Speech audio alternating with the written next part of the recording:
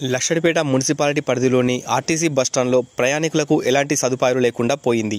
నిత్యం వేల మంది వస్తున్న లక్షడిపేట బస్టాండ్లో బస్సుల టైం టేబుల్ తెలుసుకోవాలన్నా బస్టాండ్లో కనీసం కంట్రోలర్ కూడా లేకుండా ప్రయాణికులకు చాలా ఇబ్బందికరంగా మారిపోయింది.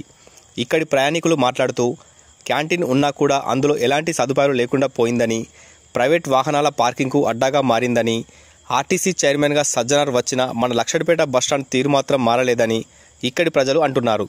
రాత్రి వేళలో అయితే మరీ అధ్వానంగా మారుతోంది. దీనికి ఎలాంటి సెక్యూరిటీ లేకుండా ఉండటంతో బస్టాండ్ మరీ అధ్వానంగా మారిపోతుంది. మంచిర్యాల జిల్లాలో లక్షడిపేట పెద్ద పట్టణమై ఉండి కూడా ప్రయాణికులకు ఎలాంటి సెక్యూరిటీ లేకుండా నిరుపయోగంగా మారుతుందని ఆర్టీసీ వారు ఈ బస్టాండ్ను ఎలాంటి అభివృద్ధి లేకుండా చేస్తున్నారని అంటున్నారు. నాలుగు జిల్లాలకు ఇది ఒక పెద్ద బస్టాండ్గా ఉన్నా కూడా ఈ బస్టాండ్ నిరుపయోగంగా మారిపోతున్నదని ఇకనైనా ఆర్టీసీ వారు ఈ బస్టాండ్ను పట్టించుకోవాలని ప్రయాణికులు ఇబ్బంది పడకుండా చూడాలని కంట్రోలర్ను ఎలాగైనా నియమించాలని అలాగే చెత్త చెదారం లేకుండా చూసుకోవాలని.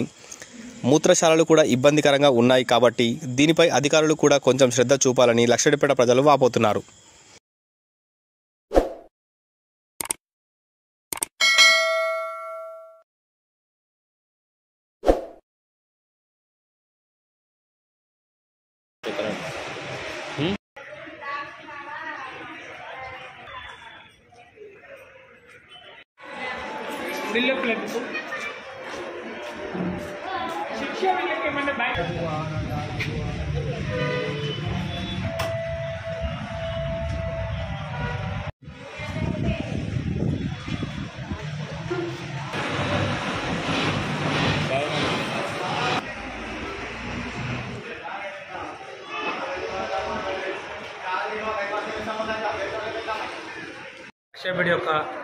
మున్సిపాలిటీ పరిధిలో ఉన్న బస్ స్టాండ్ యొక్క వాతావరణం చూసినట్లయితే ఒక సాధారణ ప్రయాణ ప్రయాణికుడిగా నాలుగు అలాంటి ఒక ఎంతమంది ప్రయాణికుల బాధ కనబడుతుంది. ఈ యొక్క పెద్ద ప్రాంగణం బస్సు ప్రాంగణం అనేటువంటిది ఇక్కడ ఒక కంట్రోలర్ లేడు ఇక్కడ దీనికి. దీనికి సంబంధించి ఇలాంటి సమస్య చెప్పుకుందామన్న ప్రయాణికులకు ఒక ఏరా బటర్స్ ఒక పర్సన్ లేకుండా పరిస్థితి వచ్చింది. వాళ్ళ కనీస వసతి అయినటువంటి కనీసం బాత్రూమ్ వసతి లేకుండా పోయింది. ఒక బస్సు యొక్క సమయపాలన గురించి ఎంక్వైరీ చేద్దామన్నా వాళ్ళ పరిస్థితి చెప్పుకుందామన్నా కూడా ఇంత పెద్ద బస్టాండ్కి ఒక పర్సన్ ఒక కంట్రోలర్ లేకుండా పరిస్థితి ఏర్పడ్డది.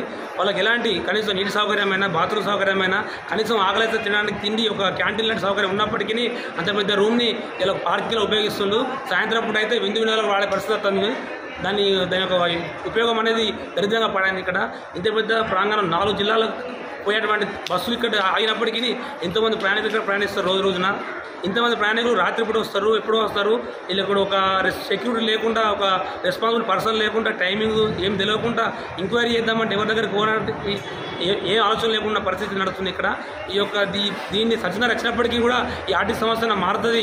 ఈ మంచిర్యాల జిల్లాలో లక్ష్య పెట్టుకున్నటువంటి ఒక గుర్తింపు అనేది డిఎంకు కూడా పట్టించుకుంటాడు దీన్ని అంచనా డిఎం కూడా.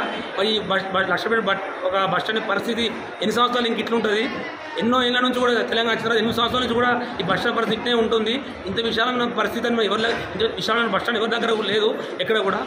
పోనీ మనకున్న అవకాశం ఉద్యోగం చే- వినియోగం చేసుకొని ఒక క్యాంటీన్ మార్చి ఒక మంచి ఒక గోడలు కూలిపోతే అయిపోయిన బాత్రూమ్ గోడలు కూడా వాటిని సర్దిద్దలేక ఒక క్యాంటీన్ ఏర్పాటు చేయలేక ఒక కంట్రోల్లోకి దీనికి నియమించి ఒక ప్రయాణికుల యొక్క బాధలను తీర్చే విధంగా వాళ్ళ సహాయ సహాయాలు అందిద్దామనే విధంగా కూడా ఇలా చూసుకుంటారు ఎవరు కూడా.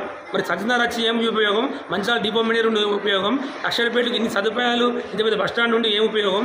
ఈ మున్సిపాలిటీ పరిధిలో ఎన్నో మండలాల ప్రజలు వస్తారు. ఒక చిన్నపిల్లలు వస్తారు ముసలోళ్ళు వస్తారు. ఎవరో ఎంతోమంది వస్తారు ఇక్కడ హ్యాండిక్యాప్ వస్తారు ఫిజికల్. వాళ్ళకు ఎలాంటి ఒక సోర్స్ లేదు. ఏదో నామకే వస్తు వస్తున్నాం ఫస్ట్ టైం వస్తాను ఎక్కిపోతే పోతాను అనేటువంటి పరిస్థితి. ఇది కేరా బొట్టస్ కూడా లేని పరిస్థితి అయింది ఇలా ఒక పర్సన్ అనే వాళ్ళు క్యాంటీన్ ఏర్పాటు చేసి మరుగుదొడ్డిని మరమ్మతులు చేపించి ఒక నీటి సౌకర్యం ఏర్పాటు చేసి ఇక్కడ పార్కింగ్ సహాయం ఏర్పాటు చేసి దీని బస్ మొత్తం రూపరేఖలు మొత్తం కూలిపోయే విధంగా అయిపోయింది. దీని మరమ్మతులు అన్ని మంచిగా చేపించి ఒక మంచి కళ ఉన్నది దీనికి బస్ స్టాండ్ కష్టపడంటే దీన్ని మళ్ళీ పూర్వవైభవం చెప్పించి సాధారణ ప్రయాణికులందరికీ కూడా ఉపయోగపడేలా చూడాలని కోరుకుంటున్నాం. ఇప్పటికైనా మారని మీరు. సంచలన దృష్టికి పోతుంది ఈ వార్త. డిపో మేయర్ మంచిగా డిపో మేయర్ కూడా దీన్ని దృష్టి తీసుకెళ్ళి సాధారణ ప్రయాణికుల తరఫున పెద్ద ఎత్తున ప్రజలు కూడా రోడ్డు పడి కనీసం బస్ సౌకర్యాలు పొందే విధంగా మీరు అందరూ సహకరించాలి దీనికి అని ఒక సాధారణ ప్రయాణికుడితో మీరు కోరడం జరుగుతుంది.